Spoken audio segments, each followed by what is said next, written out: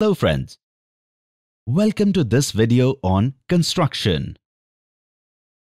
In previous video, we learned about the construction of angles like 30 degrees, 60 degrees and 120 degrees.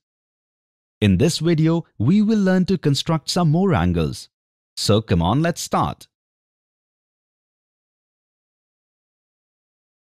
From the initial point of ray XY, construct an angle of 45 degrees and prove that the construction is geometrically correct. As you know, we have only scale, pencils and compass. With the help of this, we have to construct the angle. So, find out how. Come on, I'll give you a hint. We will increase the ray to the left of point X. Now, with the help of compass, taking any one measurement, take the point X at the center, cutting an extended ray XY on the left and right of point X and place an arc. Can we say that AB is a line segment and X is its midpoint? Now what can we do? Can we construct perpendicular bisector of line AB? From point A and B, taking more than half the measure of AB, either at the top and bottom or only to the top, draw one arc each and join their intersection point P to X. Can we now say the angle PXY or PXB is 90 degrees? Let us first check the validity of the diagram before moving forward. We will join point P to A and B. Now, in triangle PAX and triangle PBX, side AX is equal to side BX because they are arcs of equal radius. Side PA equals side PB because they are arcs of equal radius. Side PX is equal to side PX because they are common sides.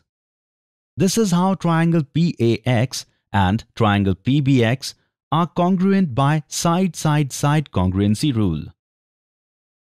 Therefore, angle PXA is equal to angle PXB as corresponding parts of congruent triangles are equal. Let's call it equation 1 and angle PXA plus angle PXB is equal to 180 degrees because they are linear pairs.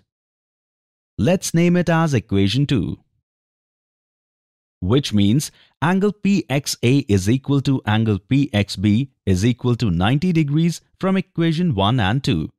That is, at point X, we have made an angle of 90 degrees.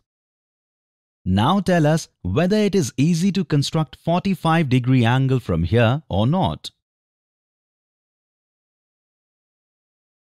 Now from here, follow the steps of angle bisector and to vertex X on ray XY and ray XP draw arcs of equal radius.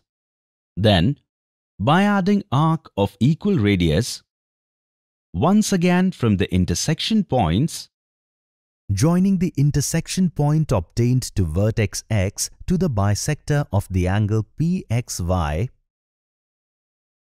we can easily construct an angle of 45 degrees from the vertex x.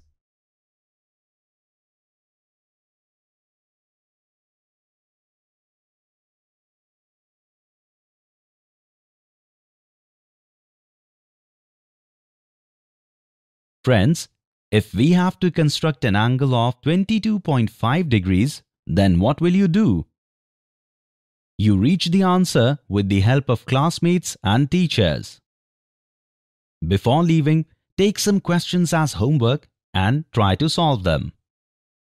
Construct an angle of 75 and 105 degrees and check the construction with the help of protractor.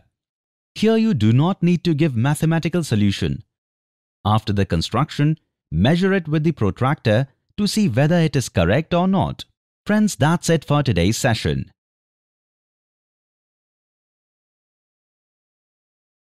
See you in the next video with the construction of some more angles. Thank you.